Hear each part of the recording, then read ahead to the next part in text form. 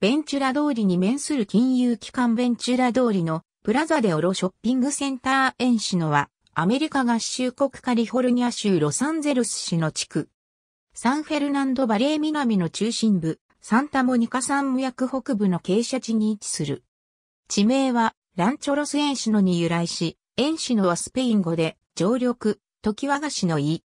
1834年初頭に行われたカリフォルニアにおける布教活動の世俗化の結果として、メキシコ政府からミッションインディアンに譲渡された土地の一区画である。ロサンゼルスリバーの塩種の地区を流れる箇所は、その高い水位のためあえて未舗装になっている。かつて、ロサンゼルス市に水を供給した耐水槽は、エンシノの地下にある。エンシノには西にターザナ、北にセプルベラダムレクリエーションエリア、東にシャーマンウォークス、南にロサンゼルス市水道電力局の貯水場が面している。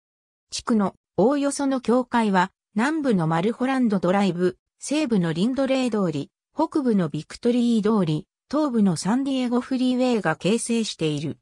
大通りにはベンチュラやマグノリア、バーバンク通り、ホワイトオークアベニュー、バルボア通り、ハスケルアベニュー、ヘイブンハーストアベニューがある。2000年の調査によると、全人口は4946人であり、人口密度は1平方マイルあたり3864.9人であった。人種構成比率は、白人が89.90%、アフリカ系が1.78%、アジア系が4.38%、ネイティブアメリカンが0.19%、その他の人種が4.13%である。全人種におけるヒスパニック及びラテン系の居住者の割合は4.62%である。年齢別に見ると、18歳以下の人口は18.25%で、64歳以上の人口は20.08%である。27.44平方キロメートルあたりの住宅数は18,159戸である。2009年にロサンゼルスタイムズ紙が行ったマッピング LA プロジェクトによると人口は41,905人、年収の中央値は78,529ドルであった。地域経済は主に医療関係、社会事業、専門職産業の就職口を提供している。